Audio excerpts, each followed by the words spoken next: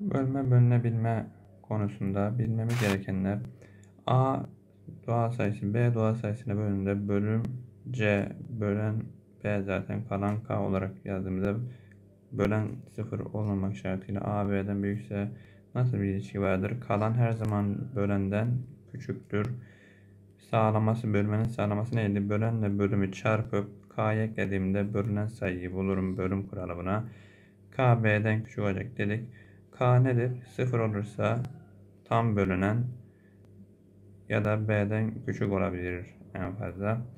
K sıfır ise burada zaten tam bölünür bilgisi verilmiş. Bu bilgilere göre sorularımıza başlayalım. A nedir? A 12 çarpı 4 artı B'dir. A'nın alabileceği en büyük değer sormuş bize. Burada B'ye en büyük seçmem lazım. B 12'den küçük ne olabilir? 11 olabilir en fazla. O zaman 48 artı 11 eşittir 59. A ve B pozitif tam sayılardır. Yine burada bölüm kuralından denklemimizi yazarsak A eşittir 25 çarpı B artı B kare olur. Burada B karenin 25'ten küçük olduğunu biliyorum. Kalan bölenden küçüktü. O zaman B burada maksimum ne olur? B 5'ten küçük. B 4 olabilir. En büyük. Çünkü bana A'nın en büyük değerini soruyor. A'nın en büyük olması için B'nin de büyük seçilmesi lazım. Burada yerine yazdığımızda A 25 çarpı 4 artı 4'ün karesi. Buradan 100 artı 16 eşittir 116 olarak bulunur.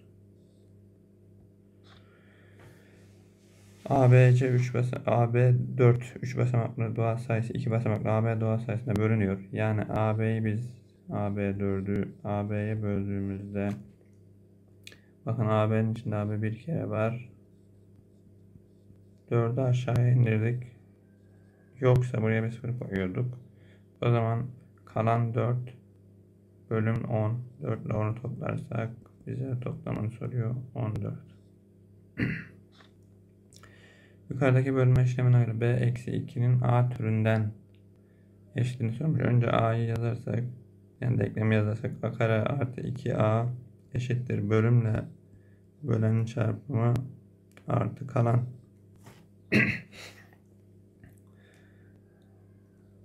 burada b eksi 2'nin yani b'yi yalnız bırakalım. a kare artı 2a eksi 3 bölü a olur. b'nin tek başına bıraktığımız zaman.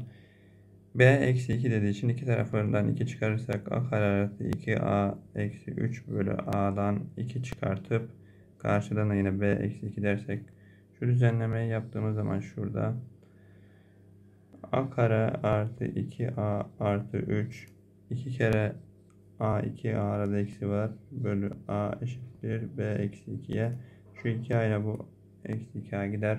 Ne kaldı geriye? A kare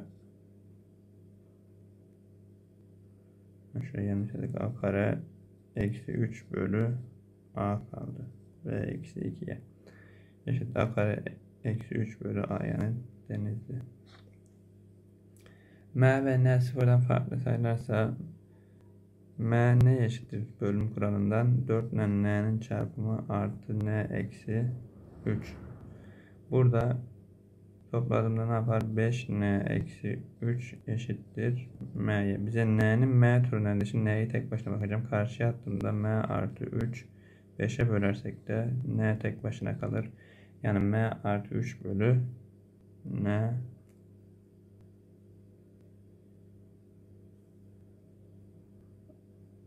m artı burada nasıl bir hata yaptık? n eksi 3 dedik. 5 n eksi 3 n artı 3 5 evet.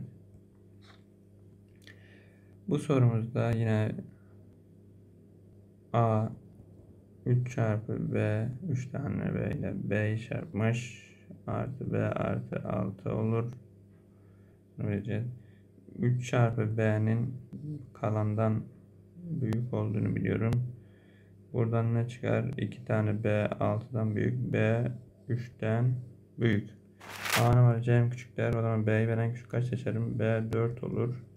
En küçük. B 4 olursa yerine yazdığım zaman buradan bakın A eşittir 3 çarpı 4 çarpı 4 artı 4 artı 6 şu çarpmayı yaparız önce. 16 48 6 4 daha 10 toplarsak 58